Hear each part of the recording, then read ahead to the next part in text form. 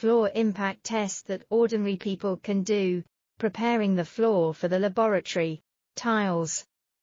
Laminate flooring. SPC floor, 4 mm iron ball. Impact 3 materials with iron balls. Tiles are smashed.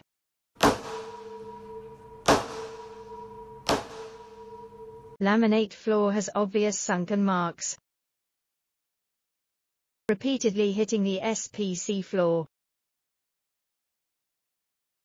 No noticeable changes to the floor. It can be seen that the impact resistance of SPC floor is the best.